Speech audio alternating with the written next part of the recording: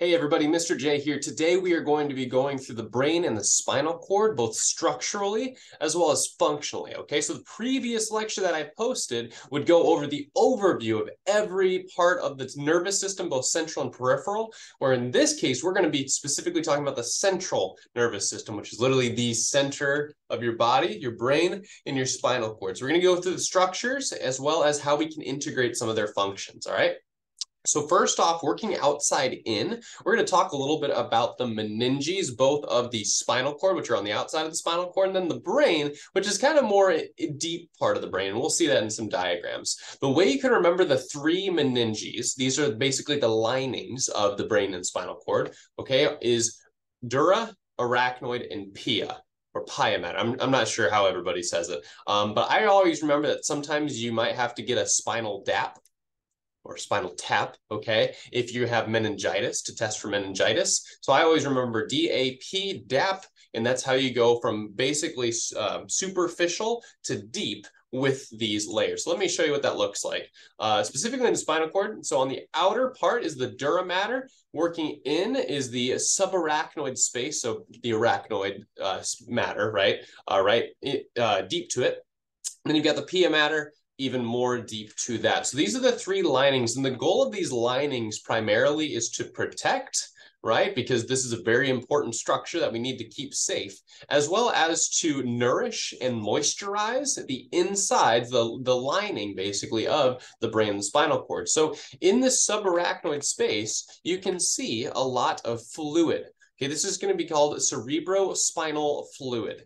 This is going to help nourish the brain um, because the brain and spinal cord, uh, both brain and spinal cord nourishes both it's a very protected uh, tissue type, right? A lot of important neurons, a lot of important functions. So we actually have what's called the blood-brain barrier that prevents certain things of the blood to get into the brain because it might be damaging. So we almost have this extra uh, nutritional source in a way um, of this cerebrospinal fluid, once again found in the subarachnoid space, all right? Uh, I'm not really going to talk about meninges all that much, um, but again, a couple connections clinically. Um, you've probably heard of meningitis, which is the inflammation of the meninges. This can be either viral or bacterial, really dangerous infection um, that you'll have to get a spinal tap for to test for. Very painful process. My wife actually had that done, and she said it was the worst experience of her life. Um, as well as you may have heard of epidurals before, epidurals. Okay, so this is when you're pregnant, and right before you give birth, you want to get an injection in your spinal cord that'll basically numb you from right above the waist down so you don't feel any pain during the the actual delivery and prior to delivery. Now, what's happening is they're actually putting an injection of a type of opioid that basically gets into this region of the dura mater and everything inferior to this, hopefully inferior to this, it'll basically diffuse down and cover all of those spinal nerves, all the sensory neurons that are coming in, so you won't feel any sensation from that point down. So that's an epidural. Now let's talk about the spinal cord. So this is the spinal cord. It runs in your vertebral cavity, so it's protected by your vertebrae. You've got these little holes in your vertebrae um, that you see here. Okay, so here's the bone of the vertebrae, and you'll have a space inside of it. This is a foramen, so a hole, and this is where the spinal cord will run. All right. Um, there will be several structures of the spinal cord that I want you to remember, and these are uh, important uh, both functionally as well as structurally. So if you look at this, we've got kind of a gray and a white segment of the spinal cord itself. But before let's get our bearings, this is anterior. If we're looking at this diagram, this would be anterior. So this is a person facing you in a way. You're looking into their spinal cord. This would be posterior on their backside, essentially, okay?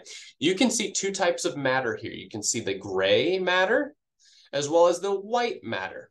Now, the, the thing that makes the difference is uh, oh gosh, myelin, myelin, I almost said the wrong protein. So remember in the last uh, video, I talked about myelin, okay? And if neurons, remember spinal cord brain is made of neurons, right? If they are myelinated, they will appear white. And if you remember, these signals are going to be sent very fast because they're myelinated and the signal will basically hop. Uh, saltatory conduction, jump, jump, jump, jump, jump, all the way to where it needs to send the signal. So these are going to be faster okay? Faster signals. Whereas if it's gray, it's going to be what's called unmyelinated. So no myelin, okay? Or very little myelin. All right, and these signals are going to be slower. All right. So if we think about it, the gray matter, we're going to have some neurons that are going to maybe communicate slower. Whereas in the white matter, we're going to travel a distance in the white matter. So we need them to be myelinated. We need to send the signal a long way. So we're going to speed up their conduction. All right. So this will make sense here in a second. Trust me. So uh, a couple of things here. Um, terminology wise, you got anterior horn, lateral horn, and posterior horn of the gray matter. Okay. And then in the other ones, I'm really not going to talk about. Um, I'm just going to say the posterior part or the anterior part of the spinal cord. Okay, so here's a great diagram of a sensory neuron coming in. So let's say you get a, a hairbrush, okay? So a spider's walking on your arm, right? Well, what will happen is those sensory neurons will send a signal towards the central nervous system because it's sensory. It's going to send it into the spinal cord, okay? So this is a spinal nerve here we'll talk about in a second. Sends that information into the gray matter. Gray matter, remember, is going to have slower moving neurons because they're going to be really close connections. So at this point, there's going to be an interneuron that's communicating that will actually cross over and eventually get into the white matter. So now this part of it is going to be myelinated. Why does it need to be myelinated? Well, it's going to speed up the signal, right?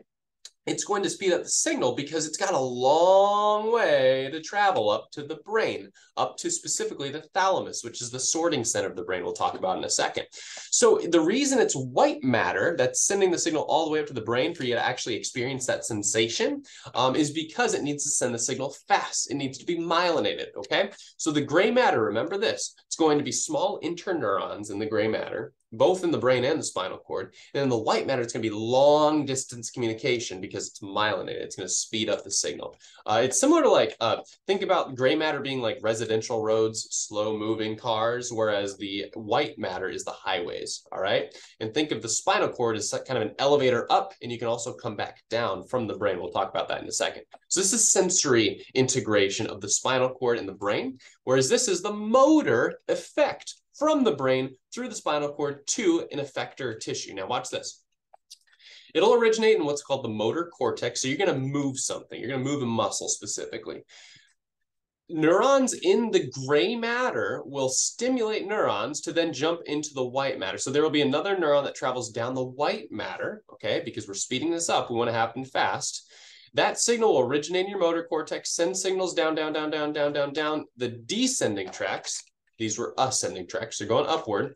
The descending tracks all the way down, they're going to cross over at the medulla. That's a cool thing called decussation. So uh, if you've ever heard like the right side of your brain controls the left side of your body, this is why.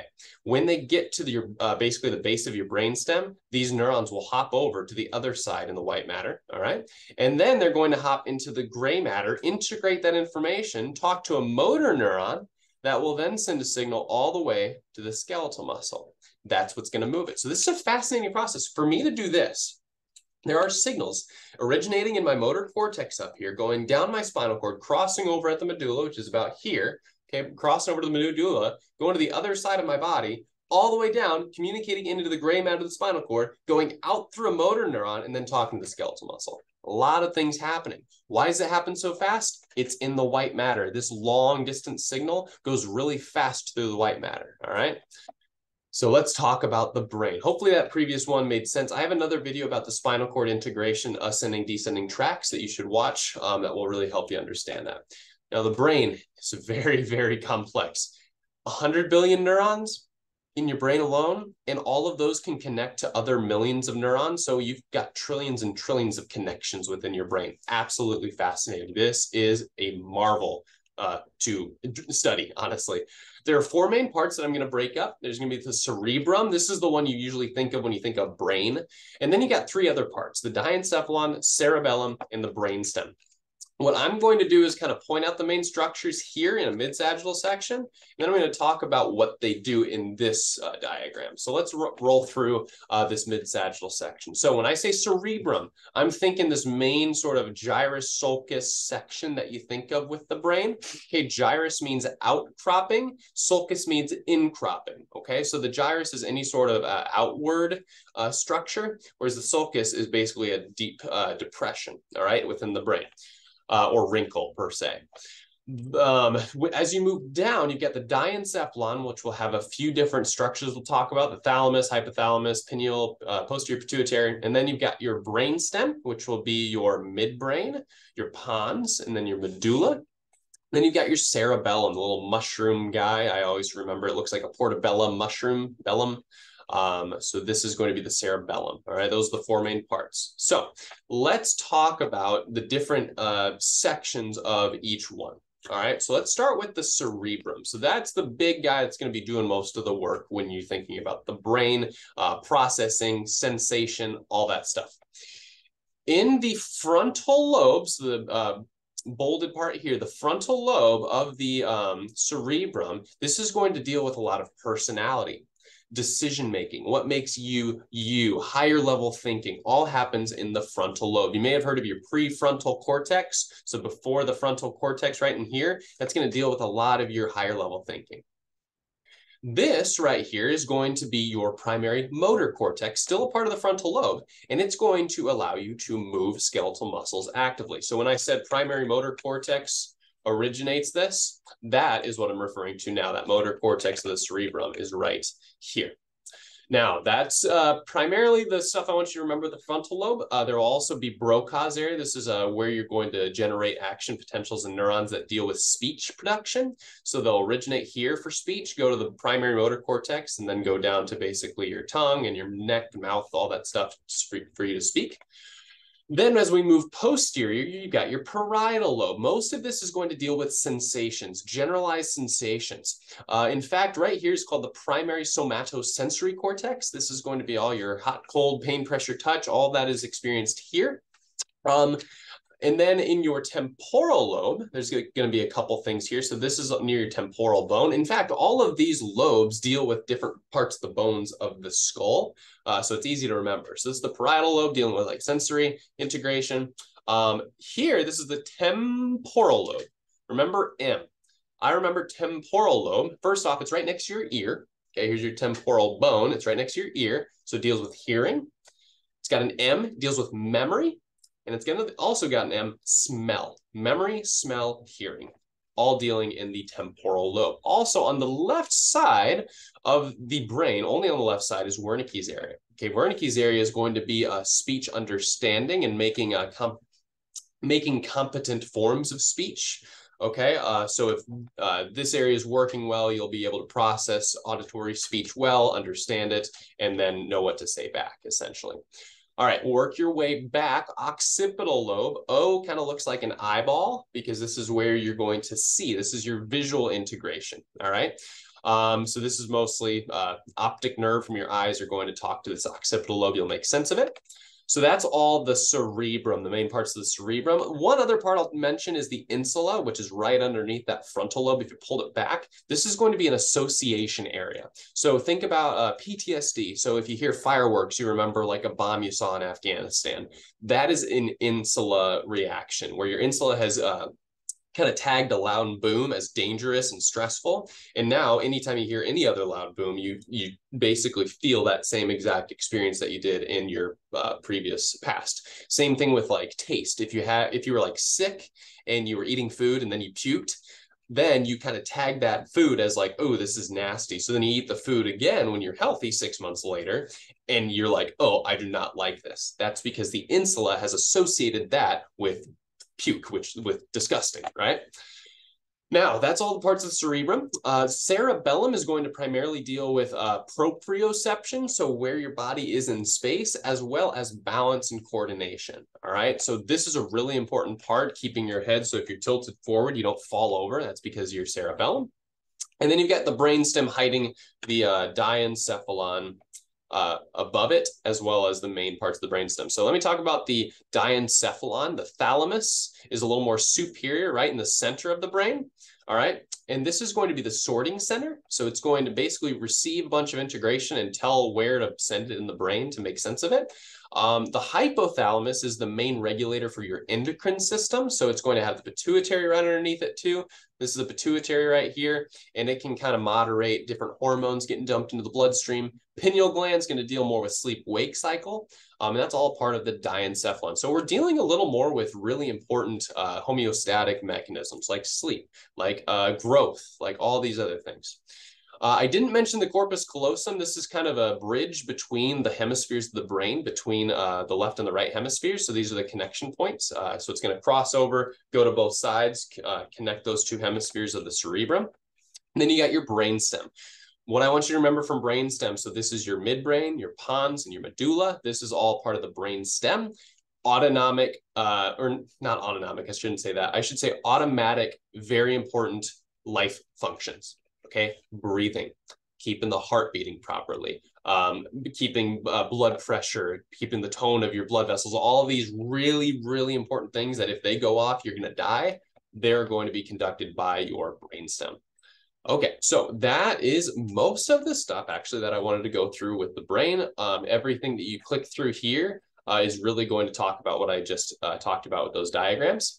A um, couple cool things. You've probably heard that one side of your brain is dominant over the other. Most people have a left side dominant because your left side controls the right side, and most people are right-handed, right-footed, uh, right dominant.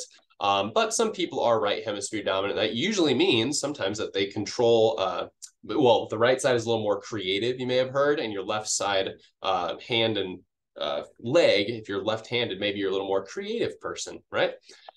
Um, now, the reason it happens that way uh, is because the I don't want to confuse you, but what happens is if you're moving your left arm, okay, I think this is flipped, so it's going to look a little weird on your screen. If you're moving your left arm, your right brain is starting that, is starting that motion, is starting that action potentials to make that motion happen. The reason for it is because when those action potentials are sent down your neurons, they cross over at your brain stem, okay? They cross over, travel down, and then talk to the uh, muscles of this arm. Same thing on the other side. Whereas if you experience pain, so I'm hitting my right arm, I'm going to interpret that on the left side of my brain. Why? When, I'll show it actually, when you get touched on one side, we already saw this. So say this is the, uh, I don't know, left side of your body. When it goes into the spinal cord, you see how it hops over to the right and then eventually ends up in the right side of the brain? That's because it's a crossing over at the level of the spinal cord, and then it's being interpreted by that side of the brain. So it's kind of interesting. So think about it. If you had uh, brain damage, maybe in the motor cortex of one side of your brain, so say you got damage on the left side of your brain, the right side of your body may be paralyzed, right? So that's just a cool little connection there. Um, other things, we talked a little bit about the uh, uh, cerebrospinal fluid. Uh, this can get uh, diffused into these ventricles, which nourishes the brain. I won't talk about them all that much, uh, but this is how it will move. Uh, so again, uh, subarachnoid space has all that cerebrospinal fluid. There will be several ventricles that nourish different parts of the brain, and it'll travel sort of in this anterior to posterior loop um, in the different ventricles. Talked about the thalamus being the sorter, hypothalamus, talking about homeostasis, regulating a whole bunch of things. Uh, limbic system is also a part of it in the diencephalon, so uh, kind of uh, near the thalamus, near the hypothalamus, and that's going to deal with emotional experiences. Uh, so that's why, I say, uh, if you I don't know, experience some sort of stressful event. It can make you really emotional uh, because it's usually stimulating this like ah response, and that's usually starting within the limbic system. Um, and that can also be both uh, anger and fear, but also pleasure, uh, interestingly enough talked about the brainstem. I'm not going to go through those as much. Um, and then I want to go through briefly the cranial nerves as well as the autonomic nervous system. So cranial nerves originate in the brain, whereas the spinal cord nerves originate in the spinal cord and they branch off the spinal cord. And there's going to be 10 different cranial nerves. The way you can remember them is uh, by a certain mnemonic, and I'll tell you what that is. O, O, O, to touch and feel very good velvet are heaven. Those are the 12 cranial nerves. I think I said 10. That's my bad. 12 cranial nerves. Um, and they are going to either be a sensory aspect, so they're going to be receiving sensory information, or they're going to be a motor aspect, so they're sending information out, or they can be both. So to remember that, you can remember some say Mary, money, but my brother says big brains matter most. All right. Some say marry money, but my brother says big brains matter most. So that's how I remember uh, what the names are. I'm not going to go through all of them. I'm not going to go through the functions, but if you remember that mnemonic uh, for both of them, you can know what the name is, as well as if it's sensory, motor, or both sensory and motor. Awesome. Spinal nerves. Uh, almost done here. There's several different pairs. I want to say there's 31 pairs of spinal nerves, all branching off of each vertebrae. Okay, it's just going to, uh, those are going to deal with different sensory and motor integration of different parts of the body. So like your neck is going to control, your neck spinal nerves like C1, C2 is going to control more things up here, whereas your thoracic is going to control more things here. All right. Makes sense. I'm not going to go through all that autonomic nervous system. Last thing, these are automatic responses. You cannot control them, and they're branched into two different divisions the sympathetic, fight or flight, parasympathetic, which is rest and digest. Keep that in mind. All of them will do the opposite effect, usually. Usually. So remember that they're going to do the opposite effect. So, for example, if you, okay, see a bear, right? You're about to die. You need to get your heart beating and you need to open up your eyes to see what's going on. You need to prime those muscles so you can run away. All of that will be initiated by the sympathetic division. But if the opposite is occurring, so say you're chilling at your house, enjoying a hot cup of coffee by a fireplace, calm environment, right? It's going to do the opposite. It's going to calm your heart down. It's going to unstimulate your skeletal muscles, uh, unstimulate or like just de-stress yourself essentially. Um, and your pupils won't get dilated because you don't have to see a bunch of things. It'll just relax and you'll be able to just focus on the book that you're reading. So it does the opposite effect on everything. One raise your blood pressure raise your heart rate. The other one lowered your blood pressure lowered your heart rate calmed you down. Awesome. Now, a couple things to remember. Uh, sympathetic will originate in the thoracos uh, lumbar region, so the T vertebrae and the L vertebrae, those spinal nerves whereas the parasympathetic will originate in the craniosacral region. So from basically the cranial, the cervical vertebrae, or uh, sorry, the cranial nerves, and then all the way down to your sacral region. So your sacrum, which is the lower tailbone, right? So uh, I'm not going to go through the details of that, but once again, all of these exert opposite effects. But what's interesting about these is if your parasympathetic nervous system is stimulated, okay, I'm saying calm down, rest, and digest. What's interesting is that when these neurons talk to your intestines, they will actually increase the activity. Okay, so if parasympathetic talks to your intestines, they will increase contractions, increase movement, whereas the sympathetic division, if we go back to the sympathetic division, they will actually decrease they will decrease the uh, contractions in your uh, intestines. Why is that? Why is that? Well, if you're running from a bear, you don't care that you're digesting anything. You basically shut these guys down, right?